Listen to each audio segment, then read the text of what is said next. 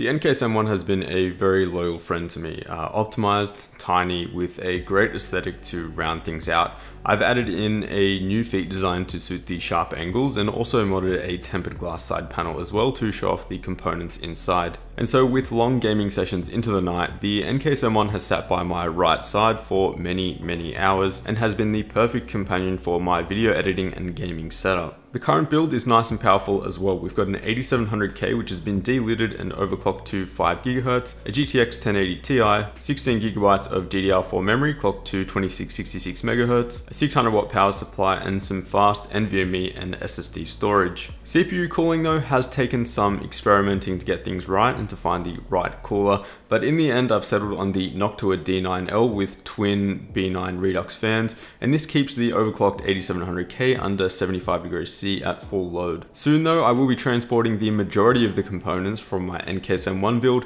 into a new enclosure and one that I am very, very excited for and one that I wanted to share with you guys today. Meet the Dan C4 SFX, which is soon to be the smallest computer case to facilitate a 240mm liquid all-in-one cooler. Now, it's not released yet, hence why this video is a preview and not an actual review. Uh, and all we really have to go off is these renderings. Now in terms of a release date, uh, we're commonly seeing these small form factor PC cases that are sort of crowdfunded by Kickstarter. So we will be seeing a Kickstarter campaign in May. Uh, very hopefully it hasn't been official yet, but that's what we've heard from the designer and uh, that's probably going to hit your doorstep the third or fourth quarter this year based off of the previous campaigns of the Dan A4 SFX V1, V2 and soon to be V3. The C4 SFX is an expansion on the A4 SFX which is a tiny 7.2 litre enclosure which some of you are probably familiar with which can house a full length 2 slot GPU up to 295mm and a CPU cooler height up to 48mm. Now there have been some amazing builds in the A4 SFX, but the main reason that I didn't buy one was the pretty restrictive CPU cooler height of 48mm. It doesn't really leave you with many options for a powerful CPU. If I wanted to run something like an i7 8700K for example, overclocking would just be completely out of the question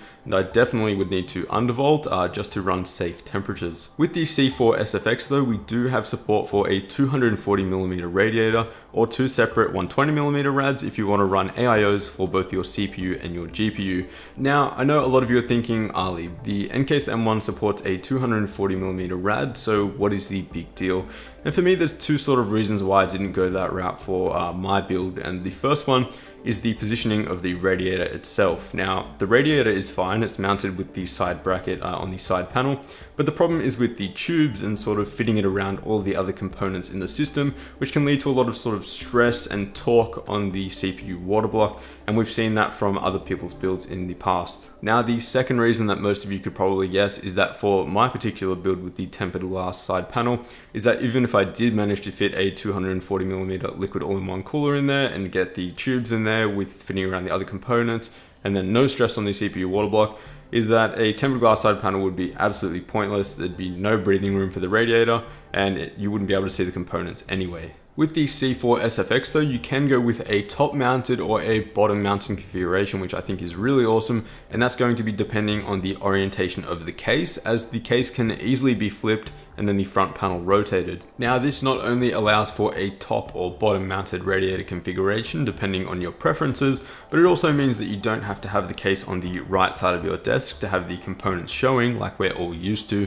You can put the case on the left side of your desk and still see all of the components. It's still a sandwich design where the graphics card and the motherboard are stacked in a parallel orientation, but in the C4 SFX, both the motherboard and graphics card are facing in the same direction. Now, because of this design, there will be a riser card involved for the PCI Express slot, and at the moment, there's looking like there may be two riser cards shipped with the case, one for a two slot card and one which also supports a two and a half slot card, which is shifted a little bit back. Now, if you are planning on putting a powerful system in this case like I am, water cooling is pretty much a must, as if you're gonna go with air cooling for the CPU, you are limited to a CPU cooler height of 62 millimeters, and even then you will be pulling air directly in from the GPU backplate, which is not ideal. So water cooling is definitely recommended. The case will be manufactured by Lian Li just as the A4 SFX and N-Case M1 are, so we can expect a fairly premium build quality for the C4 SFX, aluminium side panels, precision machining, and an optional tempered glass side panel as well. Now, in terms of color options, we can probably expect the usual from Lian Li, which is their brushed silver or black on their aluminium side panels,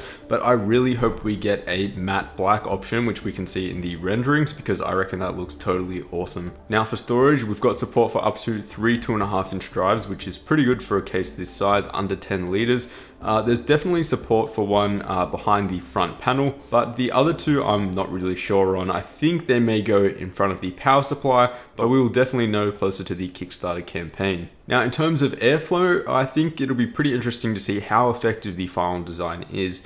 The CPU shouldn't have any problem running on that 240mm liquid all-in-one cooler at all, but GPU temperatures should be pretty interesting. And this is because the card is pushed up pretty close to that side panel. And if tempered glass results in the GPU being too hot, you could always opt for the ventilated side panel as an alternative. Pulling in air from the top with the two 120mm fans has been the most suggested configuration for an airflow design, and it'd be interesting to see how the temperatures would differ with either a bottom or top mounted radiator configuration as well. Now let's talk about the price, and when it comes to these small form factor cases that are manufactured in low volumes by a small design team, the price is usually what scares most people away, and it's rumored that the price here is between 160 and 180 euros, which works out to be about 210 US dollars.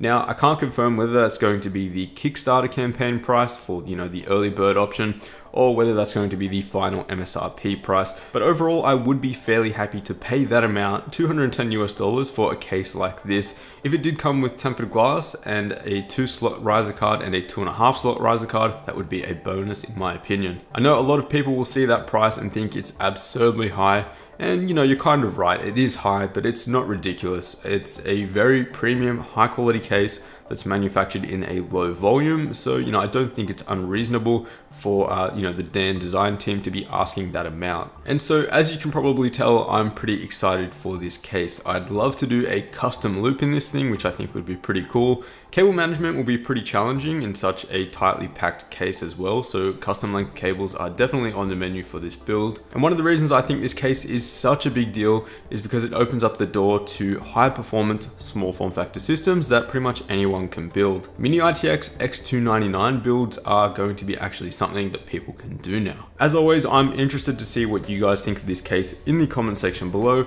Will you be backing the Kickstarter campaign or will you be sticking with your current case? Let me know down below and I'll chat with you all there. Thank you all so much for watching and as always, I will see you all in the next one.